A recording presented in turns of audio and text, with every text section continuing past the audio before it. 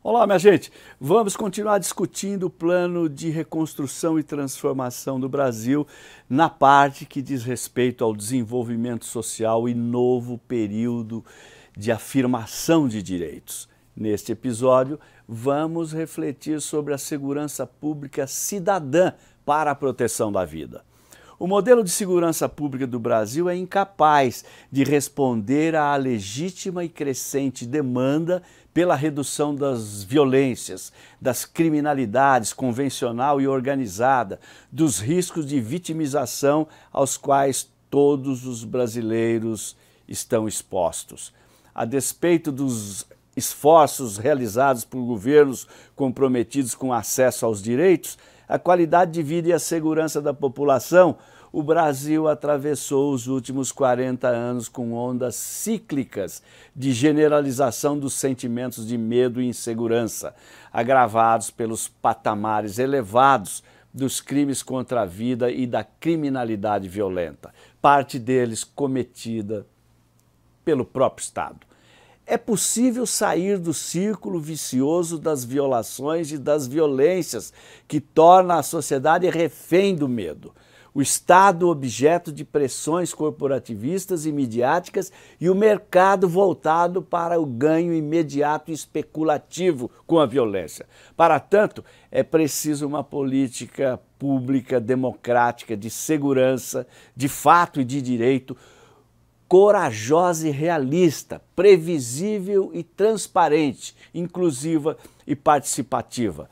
Uma política pública pactuada que escute os diversos segmentos da sociedade brasileira e articule suas demandas. É fundamental para superar as fórmulas eleitoreiras dos mercadores da insegurança que exploram o real sentimento de medo da população como um negócio político bastante lucrativo.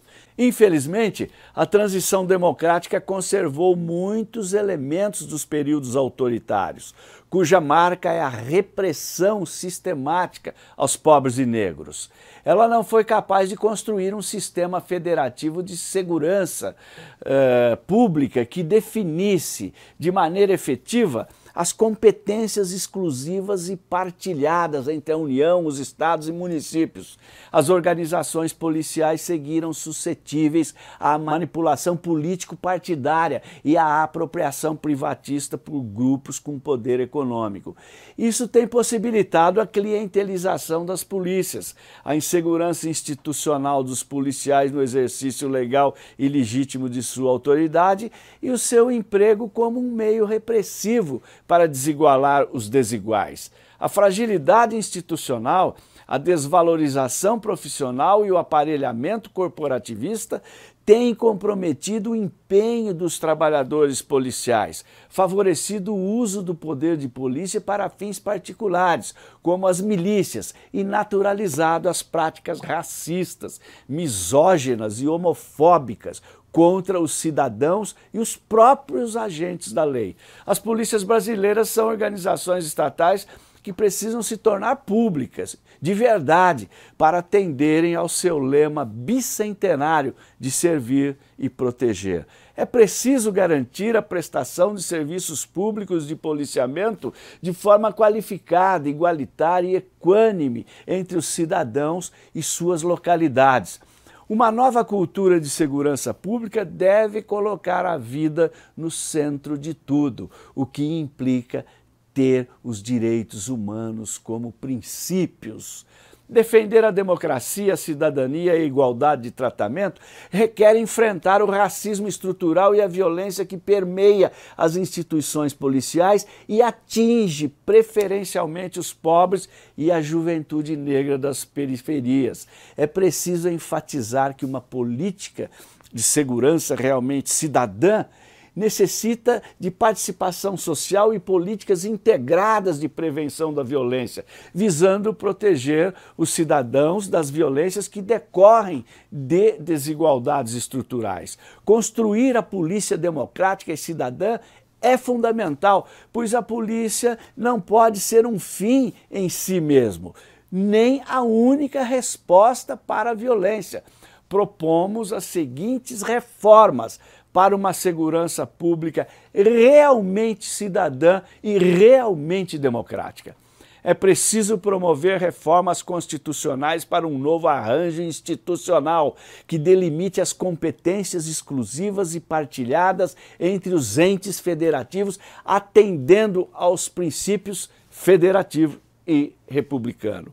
Como consequência, é também preciso conduzir reformas legais, como a reformulação dos regulamentos disciplinares e regimentos internos das polícias, a revisão das carreiras, a regulamentação da participação social e a garantia de transparência, o que inclui remuneração e benefícios dignos aos policiais a normatização da investigação externa de abusos e violências cometidas por agentes estatais, o aperfeiçoamento da investigação com a transformação do inquérito policial em relatório técnico são expedientes também indispensáveis. Faz-se necessário regulamentar as atividades do sistema de inteligência nacional, incluindo a inteligência policial, na estrita observância do direito constitucional à privacidade.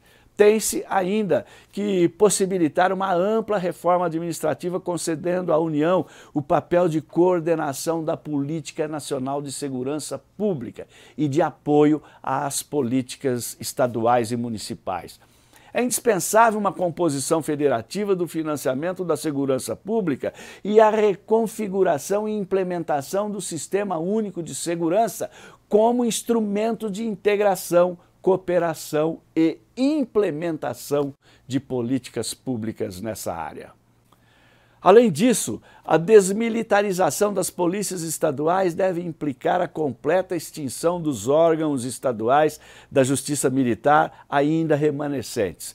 Uma reforma constitucional deve ser adotada com essa finalidade, resultando na previsão unicamente da justiça militar federal, cuja competência deverá alcançar apenas os efetivos das Forças Armadas. Vamos falar do papel dos municípios na segurança pública. Cabe à municipalidade a gestão da infraestrutura social e urbana, da mobilidade, da saúde pública, das questões fundiárias e da defesa civil, que tem um impacto direto na cobertura do policiamento ostensivo e no tempo de respostas das chamadas emergenciais. Há que avançar na delimitação clara do papel dos municípios na prevenção da violência e na promoção da segurança urbana.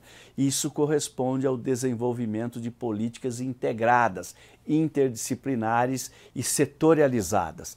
A zeladoria urbana joga um papel fundamental na gestão de riscos e redução de oportunidades de crimes no espaço urbano. É evidente que guardas civis municipais de natureza preventiva e comunitária têm papel especializado e também complementar nas rondas policiais. Não se pode esquecer a necessidade de consórcios intermunicipais para implementação de ações regionais e metropolitanas na área de segurança. A experiência dos fóruns locais comunitários para envolver a população na política de prevenção do poder local tem se mostrado decisiva na formulação e alcance das políticas municipais. Sobre políticas de prevenção da violência, propomos a construção de políticas de prevenção das diversas formas de violência é um valor que atravessa todas as dimensões de um programa progressista de políticas públicas de segurança. O que pode ser feito agora?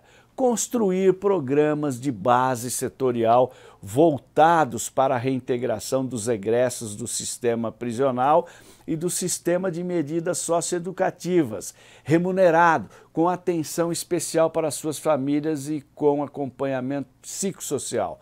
A legitimidade de programas de prevenção terciária da violência só será construída se contar com a participação destes mediadores e interruptores da violência Tais mediadores possuem legitimidade para mapear e prevenir eventuais ciclos de reprodução da violência imediatos e para reconstruir laços de convivência social integradores que possibilitem a atuação de políticas sociais redutoras de desigualdade no médio e no longo prazo. As políticas territoriais devem estar articuladas com as políticas públicas de assistência, proteção e desenvolvimento de mulheres, LGBTQI, juventude negra e indígenas. Retomar a política de controle de armas e munições contida no Estatuto do Desarmamento é necessário. Sobre as reformas das instituições policiais, a filosofia e doutrina policiais devem estar fundadas na defesa e proteção da vida, na afirmação dos direitos humanos e das garantias individuais e coletivas. Suas atuações preventiva, dissuasória e repressiva devem ser subordinadas às exigências de legalidade, de legitimidade, de imparcialidade, de razoabilidade, transparência e previsibilidade, sendo orientadas por políticas de policiamento públicas e de amplo conhecimento da população. É indispensável reformar as arquiteturas organizacionais para aprimorar sua capacidade de pronto emprego de recursos e ampliar a pronta resposta às demandas da população. Há que possibilitar sua integração e articulação institucionais nos níveis locais, metropolitanos, regionais e nacional, com a constituição de protocolos operacionais interagências públicas. Não se pode mais adiar a constituição de uma doutrina policial nacional de referência de uso potencial e concreto de força que oriente os fins de seu emprego. Os modos táticos de sua aplicação e os meios logísticos de seu uso também devem ser objeto de atenção. São necessários a delimitação, aperfeiçoamento e controle das capacidades coercitivas das polícias, com a implantação de um programa de certificação e qualificação continuada no uso das EPIs, armamentos letais e menos letais, visando excelência no desempenho individual e de corpos táticos nas modalidades de tiro defensivo por tipo de armamento e cenários de atuação. Há também que implementar ferramentas gerenciais de controle individualizado do uso de armamento e do consumo de munição.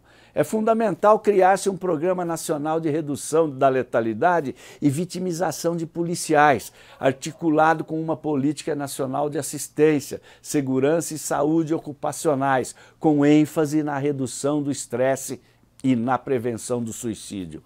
Não se pode garantir o exercício legal e legítimo da autoridade policial sem sistema de responsabilização, transparência e prestação de contas da gestão policial.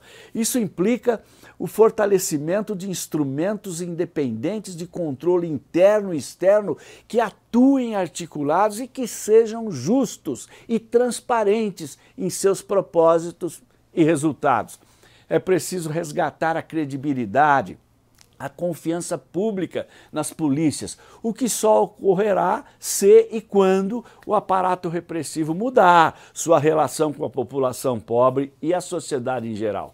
Para tanto, é preciso constituir protocolos operacionais públicos, sob a validação dos órgãos de controle interno e externo, acompanhados de treinamento que previnam as práticas discriminatórias raciais, étnicas, de gênero, de orientação sexual, de classe, de renda e de local nas abordagens policiais. Como condição de constituição de polícias uh, com superioridade de método, é imprescindível reestruturar o atual arranjo de inteligência policial e constituir uma doutrina profissional de inteligência que hoje é inexistente no campo policial. Não se pode prescindir de valorizar a polícia científica como aspecto fundamental da atividade policial, o que implica a valorização profissional dos peritos criminais e também criar uma rede nacional de ciência forense, composta por institutos de perícia independentes em parceria com os centros de pesquisa universitários. É relevante institucionalizar um programa nacional de melhores práticas policiais, voltado para a sistematização e atualização do estado da arte dos saberes e práticas de atuação na emergência, de operações especiais, de patrulhamento de investigação e de inteligência. cabe constituir um programa de pesquisas aplicadas em segurança pública, voltado ao aprimoramento das políticas públicas de segurança e de policiamento. A formação não poderá se completar apenas internamente às instituições e deverá abordar estratégias de policiamento comunitário, de proximidade e aproximação da segurança de públicos marcados por desigualdades estruturais, como as desigualdades que atingem as mulheres, juventude negra, LGBTQI e pessoas portadoras de deficiências. Esta formação tem como base a administração de conflitos de forma equitativa. A valorização profissional e reformulação das carreiras policiais é passo necessário modificando-se regimentos internos e disciplinares, propiciando saúde e segurança operacional dos policiais e políticas internas de equidade, tolerância e inclusão. Vamos tratar da política de drogas. Políticas de drogas progressistas devem estar articuladas com a proteção de usuárias e usuários em situação de risco de morte elevado Garantir a saúde e a vida dos usuários de substâncias lícitas e ilícitas deve ser o objetivo central de tais estratégias. A redução de danos é o princípio orientador de tais políticas. Programas como de braços abertos demonstram a necessidade de várias camadas de atuação. Usuárias e usuários mais pobres frequentemente são assassinados por grupos de extermínio, por milícias e por agentes da lei, acolhimento, acompanhamento, proteção, tratamento voluntário, aluguel social e garantia de emprego em outros territórios são formas inovadoras e eficientes de garantir a vida e a segurança dessas pessoas em situação de alta vulnerabilidade social. Com relação à população em situação de rua, precisamos criar um programa de braços abertos, especialmente nas grandes cidades, inspirado no programa da gestão de Fernando Haddad em São Paulo, com o objetivo de acolher, orientar e incluir essa população que muitas vezes não consegue acessar as políticas públicas.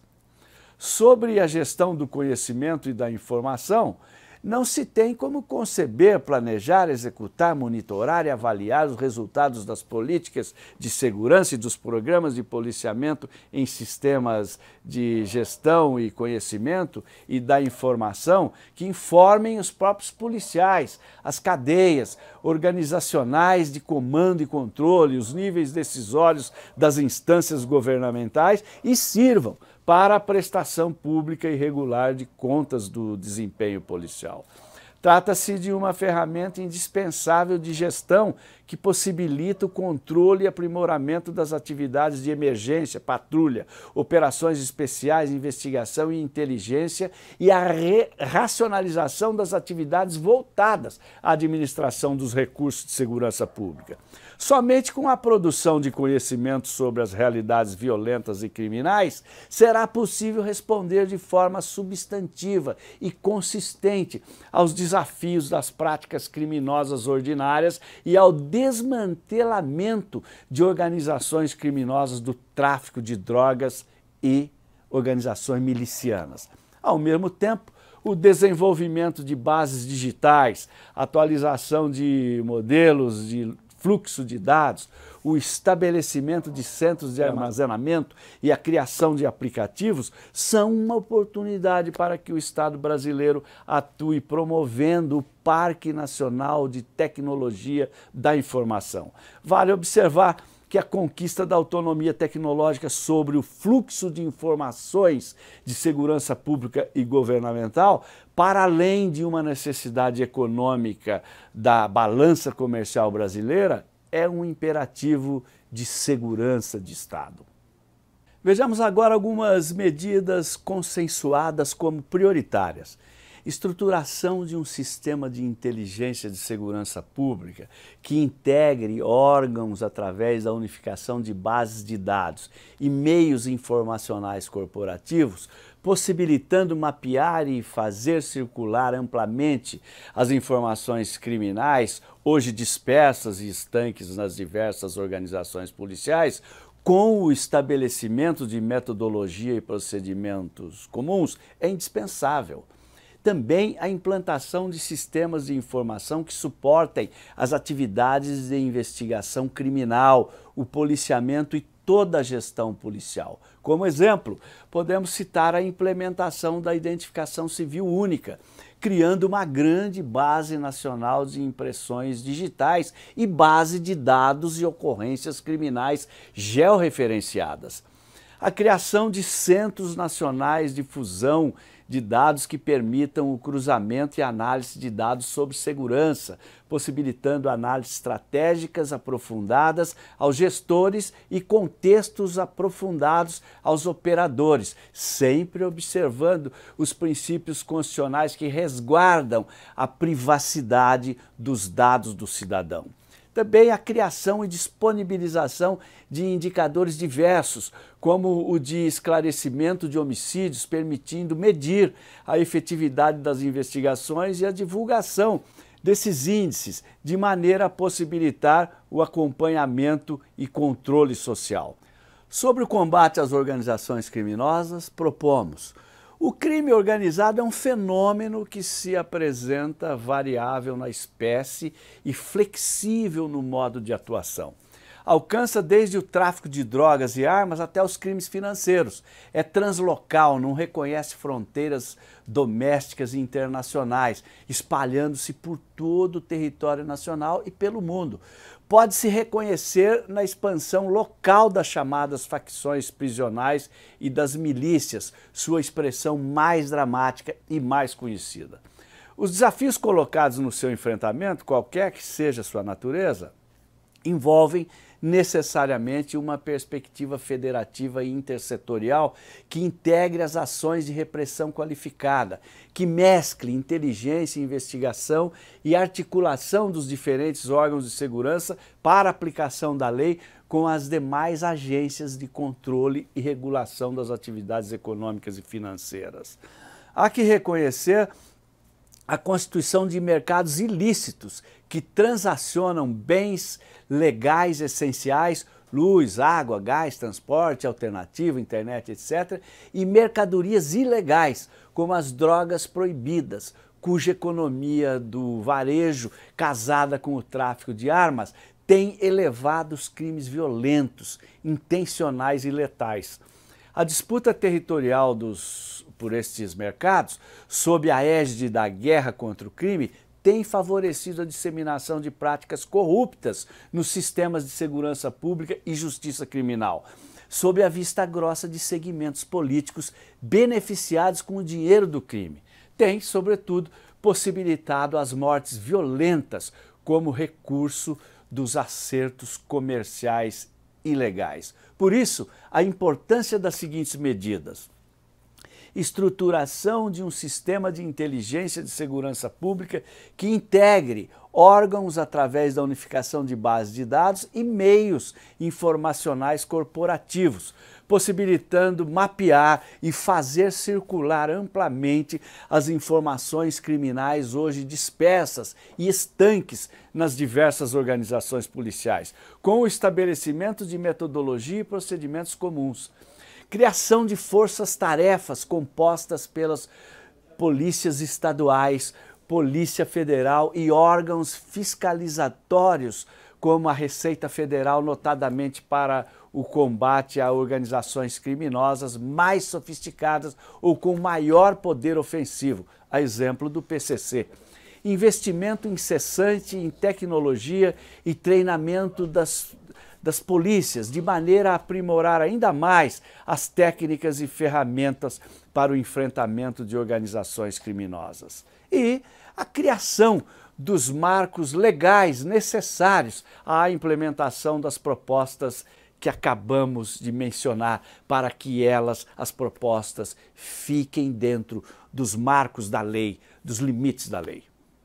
Sobre a política penal e penitenciária, A eliminação da tortura e demais formas de violência física dos estabelecimentos prisionais e socioeducativos é ponto de partida para a elaboração de uma política penal e penitenciária democrática. Isso significa construir uma nova política de drogas, mecanismos inovadores de mediação de conflitos sociais e em capacitação profissional dos agentes que lhes permita compreender como opera a seletividade racial, conformando um ciclo vicioso de violências e desigualdades. Necessariamente, essa proposta política precisa ser elaborada, colocada em prática e avaliada através de uma articulação estratégica com os atores do sistema de justiça criminal, judiciário e Ministério Público, com os estados e municípios e em parceria com entidades e organizações da sociedade civil. O Brasil tem hoje quase 800 mil presos, dos quais cerca de 40% respondem por crimes relacionados ao tráfico de drogas. Um terço dos presos cumpre prisão provisória enquanto aguarda a sentença. A política de encarceramento em massa vigente no país privilegia a punição de pobres e negros, praticantes de pequenos delitos, incentiva a ampliação das facções e produz um enorme número de condenações injustas ou desproporcionais. É preciso ter uma nova política de drogas no Brasil.